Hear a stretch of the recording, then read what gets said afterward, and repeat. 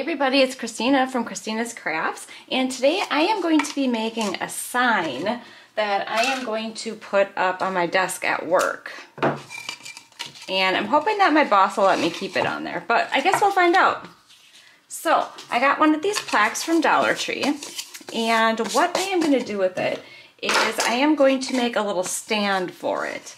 So I am going to take these um, tumbling tower blocks here. I'm to find which side of my sign looks the best. Okay, and then I am going to hot glue these onto my sign here.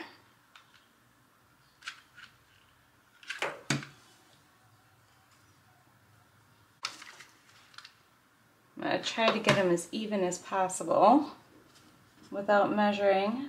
All right, and then I am going to glue them. These are to be my little feet.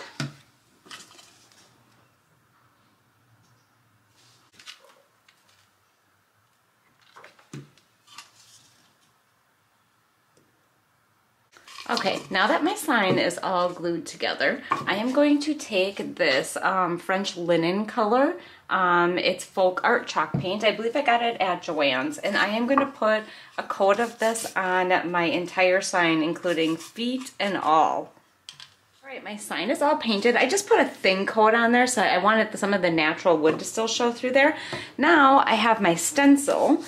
This um, stencil paper I got from a company called Fellers because my husband does vinyl on cars so he just ordered me some but I know Cricut makes a stencil vinyl and you can definitely you could try regular vinyl permanent vinyl I'm not quite sure how it'll work but so I got that and then I have this contact paper that I got from Dollar Tree and that's what I actually use for my mask.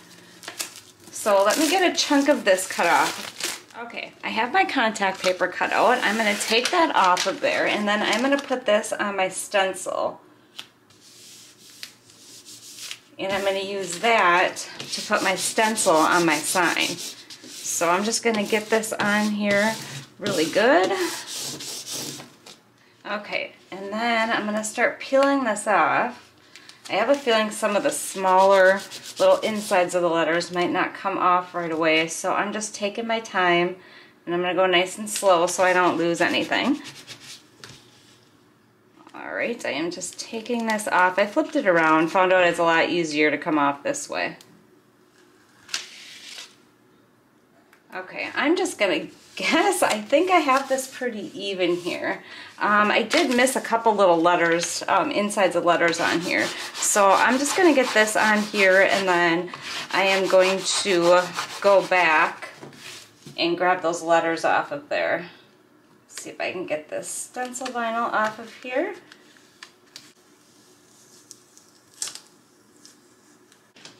But I'm going to go ahead and take my little X-Acto knife and I am going to get those little things for my letters put back in there. I have those back in there. Then what I'm going to do is I am actually, I'm not going to use paint. I'm going to use this Distress um, stamping ink that I got from Joann's and I also bought this little dauber thing. I use this for making my cards. And I am going to stick that in there and then this is how I am going to color in my stencil is with this stamping ink. So I'm just going to go all the way around and do each little letter. And there's no way it should bleed, so I'm not too worried about that. Okay, so it's getting there. So basically what I'm doing, I just want to show you again, is I just take my dauber, and then if you look, you can see all that extra ink on there. I'm just kind of wiping it really lightly over the letters. And that seems to work pretty good. And this vinyl is stuck down, so I'm pretty sure that it's not gonna bleed. So, um, oh yeah, and I forgot to tell you in the beginning, this um, stencil vinyl that I got, I did cut this little saying with my Cricut and I will include the cut file, but you have to have Cricut access. So I will put the link in the description so that if you want, you can if you have Cricut access, you can go ahead and um, take that cut file and make your own sign. All right, I have it done. Now I am going to peel my stencil vinyl off of here. I'm probably gonna have to go through and grab some of the little stuff out after. But I think this is gonna look really cute. If you have a Cricut, I think it is a very good alternative to all those Chalk Couture and um, all those um, stencil things that people are doing. Because if you buy a stencil, how many times do you actually use it? This way, you can make whatever you want. Okay, now I have to go through and I have to weed out all these little, these little um, spots right here inside the letters. And I just wanted to tell you too, I got this little tool from Dollar Tree. So I did not spend a ton of money buying the actual Cricut one. So I just wanted to throw that in there. $1.25 for this tool. Okay, I have all my little insides out. I think that looks really cute.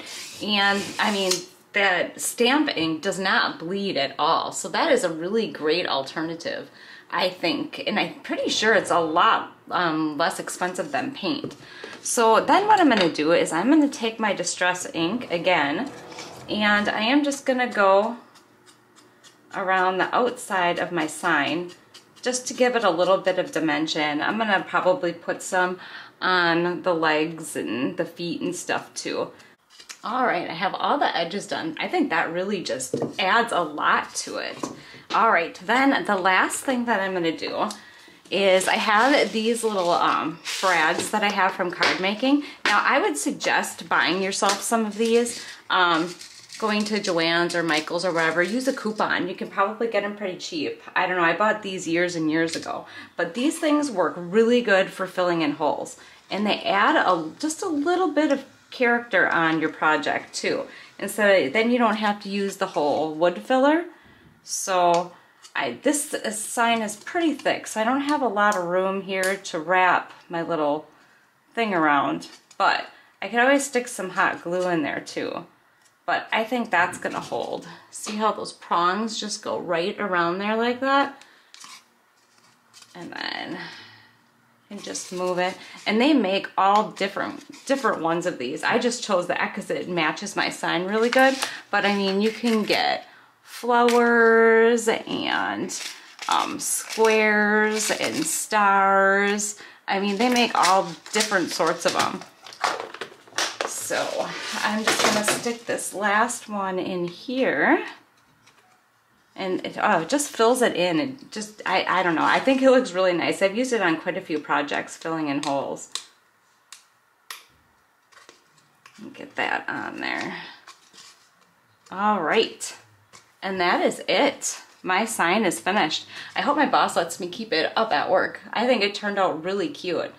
Um, that is the end of the video. Um, if you have any questions, definitely um, ask me in, you know, in the comments section. I will answer any questions that you have. But I think this turned out so cute. And I just want to say thank you so much for watching. And I hope you subscribe and hit the little bell to get notified when I upload. And take care. Thanks again. Bye.